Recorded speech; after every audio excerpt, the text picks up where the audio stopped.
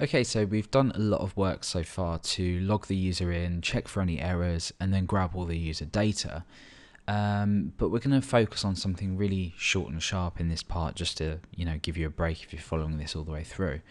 Um, now, um, uh, just one thing to mention because we've created all these different functions uh, inside of our like users.php file for example this gives us the ability to be really flexible and, and, and use code over and over again which is obviously the point of creating a function. So like we can use logged in again and again.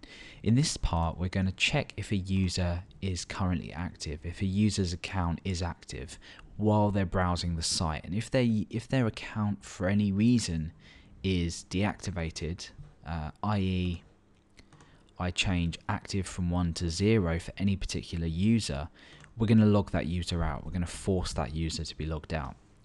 So what I'm going to be, what I'm going to do is within if logged in equals true, uh, within this block, I'm going to create another conditional statement.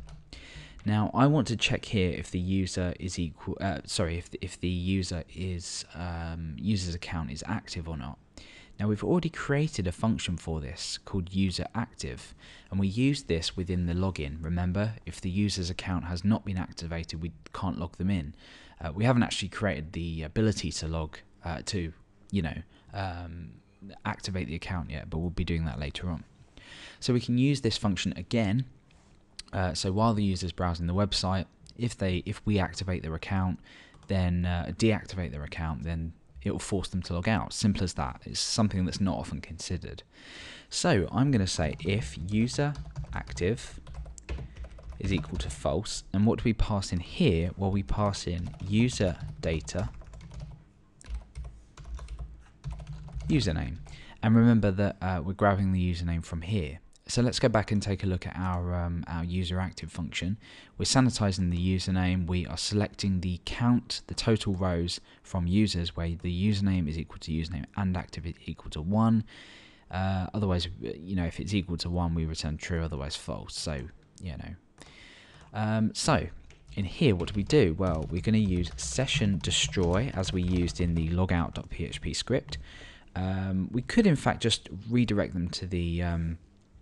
To the uh, the logout script. But if a user, for example, has modified a browser to disable headers um, or not allow any header redirects, then we don't get the effect that we want. We don't actually uh, log them out because if we're just redirecting like this,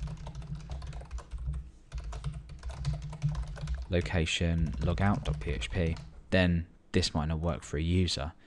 Um, so um, I'm here going to session destroy and then I'm going to redirect them to the index page and then I'm going to exit this script just here. So uh, let's go ahead and test this. Uh, I can be happily browsing the site, you know, nothing's happening. I can be clicking on these links that we haven't created pages for yet, blah, blah, blah, blah, blah. And then I go into my database as an administrator. I edit this row. I deactivate uh, Alex's account and click go. And then I refresh and I'm logged out. Simple as that. So that's a really great great way to have a lot more control over your users. And if you do want to deactivate their account uh, while they're browsing the site, you can do so.